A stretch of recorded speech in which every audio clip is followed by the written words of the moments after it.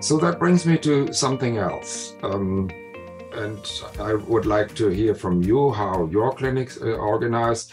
But when what we're seeing is that probably two thirds of the patients are being seen by pediatric endocrinologists and about one third by pediatric nephrologists, and that they all need a dentist and they all need, at least unless they have been started on burosumab very early, an orthopedic surgeon. So what we have done in our clinic is we have actually organized it in such a way that we have every three months a phosphate wasting disorder day. And we have the dentist, the orthopedic surgeon, the endocrinologist, and the nephrologist doing it all together. And it has helped so much with the coordination of everything. It has helped them. We have a very, very large catchment area where patients can be as far as a thousand kilometers away. And to have one stop shopping is really, in my way, the, the ideal way. And it brings me to the question um, how do you do it with a multidisciplinary team? And what should the world be doing for those rare diseases? Um, and, and who should be leading it? Um, because it's an endocrinological disease because of the excess FGF23, but the effector is on the kidney, right? So, so yeah, and, and in our clinic, uh, we have peds endo peds genetics, peds nephrology. We actually have a complex care physician who's interested in bone health. Our orthopedic surgeon doesn't come to our clinic, but we have two orthopedic surgeons that we only use. So we we work closely with the two of them, and they are their areas of expertise are in limb abnormalities in children.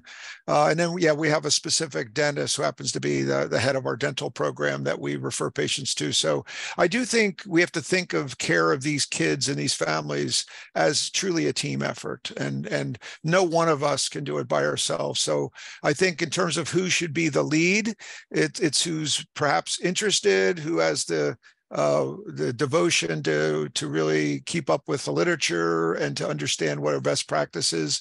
But at the end of the day, the, these kids and these families require a multidisciplinary team. Um, we, in fact, have a specific group of adult endocrinologists that we refer these patients to as they transition and that we refer the adults to the, the parents and some cases grandparents so i think in my mind our team includes our adult endocrine bone experts who help in the care of the adults as well. So, the question about this um, I agree with the notion that we should be advocating that our patients should be on therapy because of the lifelong implications. And you may even, even in a 50 year old or in a 60 year old, you may improve quality of life substantially. We have been telling those patients when they graduated in the past that rickets don't occur and therefore it's questionable whether or not they should have therapy. It sort of evolved over the years because of the quality of life, the, the, chronic pain, and so on. But how do we actually repatriate the patients that have been transitioned from our clinics 20, 30 years ago? And how do we get them to be treated? Many of them may not even seek any uh, medical attention. That's a wonderful verb, repatriate because that's what it feels like. And and for me it's a conversation. The first time i bring it up with a parent who has a mental model that she doesn't need treatment and no treatment is going to help her I, I feel like first time i bring it up they look at me like really?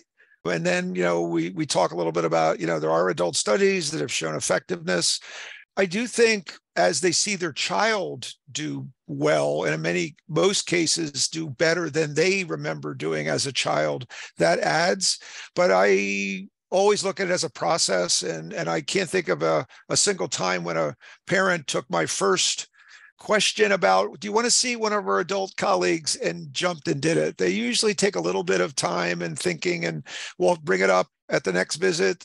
And because we're seeing these kids regularly and you know three four times a year i think that helps. Um, and we still have a few parents that have held off so far. Um, um, and you know I, I, just kind of try to gently bring the question up and and uh, and you know try to see what questions they may have. Yeah. Uh, reimbursement coverage uh, are issues as well right? Yeah. and yeah. is um, so I think we actually need some kind of consensus guidelines that are given to all the um, insurances and reimbursement uh, bodies so that there's an, a harmonization. It can't be that you have to do it in Ontario differently than in Alberta or in Ohio. Right? That's I think that is is very important. And yeah. uh, another argument also for the multidisciplinary clinics because when you have a sizable number of these patients, then the whole process of the annual re, uh, um, claiming of the coverage, etc., becomes so much more streamlined, right? Yes. Yeah. And I think you raise a good point that um, you really are uh, looking for guidelines and what to do with the adults. I mean, I don't, I don't, in my experience, no one has ever questioned in any uh, length uh, starting a child on this monoclonal antibody treatment. But with adults, there, there is uh, prob- less evidence, right? Because it's not been around that long, and and because they don't get the deforming rickets uh, maybe a little less um, sort of uh, obviousness for for uh, folks that are approving therapy. So I know transition's another issue, which you know transition used to be okay, you're done growing. You don't, you know, there's really probably no reason for you to stay on therapy. And, and, and in my experience, the patients quit the therapy that day, the first time we we mentioned that, right? Because they didn't enjoy four times a day treatment and, and the side effects. But now I'm really orienting myself to think having the conversation early in adolescence, like 13, 14, that we reframe this now. We see this as a lifelong disorder. We know adults suffer. This therapy may be given a little differently as an adult, but you should expect to stay on this treatment because we believe it will be useful to you. And then I also talk to them about the fact that you're not going to be seen in our pediatric clinic forever, even though you might prefer that. So we are going to be talking to you as you hit older teenage years about uh, when's the best time to transition to our adult colleagues. So, yeah, it's a very different conversation because in the past they weren't transitioned because, you know, in their mind and in our mind, there was not much that was available. Now there is. Now, I have been transitioning for probably the past 16 years. And um, the the experience that I had is that upon withdrawal of the therapy, the patients are starting to get more knee pain, uh, shorter walking distance, um, and yes, they don't bow more, but the quality of life goes down, yeah. right? Yes. And um, so the younger parents that I had been treating as children have been uh, on on ongoing therapy, and it depends also on your adult partner. It happens to be that I was her PhD co-supervisor, so it was a very harmonious collaboration. We published like 50 papers together, and uh, as such, she is very, very open and receptive to this, um, and also Paulson, an adult endocrinologist.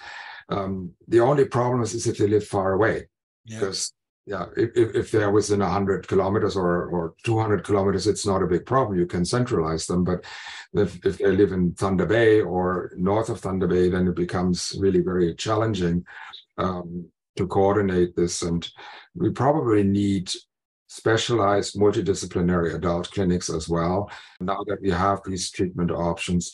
And we need to figure out a little bit more about so, what should we target during adolescence? Because of the higher alkaline phosphatase during the pubertal growth spurt? Do they need more? That's an unanswered question. And then we need to figure out you can't just go on their 18th birthday and cut the dose in half. So there, there needs to be a tapering approach, right? And maybe maybe prolong the interval, but if they have symptoms, then no, go no further or something like that. But that whole process is not not ironed out. So Guido, one of the uh, issues I'm sure we both face is uh, transition. Uh, young kids, young teenagers aren't necessarily that excited about thinking of leaving us, uh, but it is important to have some conversations. Uh, we rely on some aids uh, like the different materials that are available from transition.gov um, through the NIH. And then also the uh, University of North Carolina has some wonderful transition right. tools. Yeah. Um, I, I wonder, or do you feel like um, your patients are transition ready when they hit that 18, 20 years of age? So the XLH patients are not too bad. The CKD patients are often not. We have in Ontario a mandate for a fixed transition at a chronological age of 18, which is a concern uh, yeah. because it's not the chronological, but the developmental age that matters, right? But yes, we start uh, having conversations about that at age 15. Yeah. We've also learned from the STAR-X program how important it is to educate the mother right, who may not always be affected. Um, if they are, they are obviously much more motivated uh, to help. But uh, we've learned that the, uh, the, the adolescents go to their mom for medical information. Yeah. So we need to also focus on that. Yeah, no, very, very well put. Very well put. Well, it's been really enjoyable today sharing our experience uh, and and also just really celebrating the improved uh, outcomes for our kids now, and and and what we hope to see as they move into adulthood, and then the the opportunities for adults now to have therapy that really has been shown to be effective. So it's been really great to share uh, sh- share these perspectives with you, Guido, and uh, so we'll I'm sure we'll talk some more, uh, but we'll uh, continue to learn together. thank you very much. Okay, thank you.